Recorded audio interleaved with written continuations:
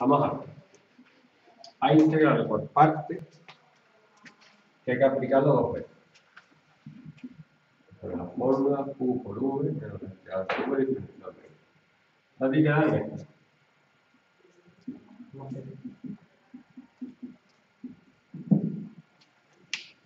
¿Vale? Y tú bien x diferencial de v elevado a x porque el integral te va a dar lo mismo. La derivada. 2x. Y hacer la integral elevado a x. Aplicar las formas. Y esto sería u por v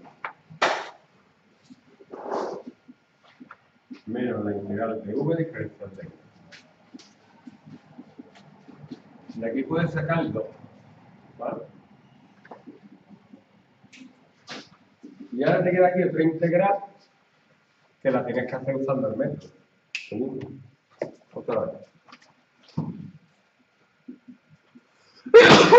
Mm, ¿Vale? Vuelves a método X. Diferencial de V es elevado a X. Diferencial de U es V. Y V es elevado a X.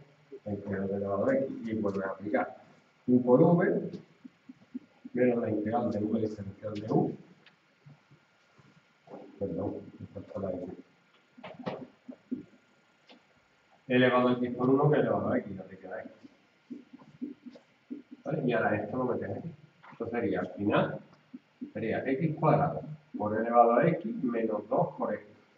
Menos 2 por x por elevado a x, menos por menos más, 2 por elevado a x. Y para dejarlo bonito, sacas factor común, elevado a x te queda x. hay que aplicarlo dos veces. ¿Sabes? Sí. Esta no se Vale, como tengo que hacerlo una vez, cuando llegue aquí, tengo que hacerlo otra vez. Y luego meter esto aquí. Ya lo metí, lo multiplicado, pero es bonito. Listo.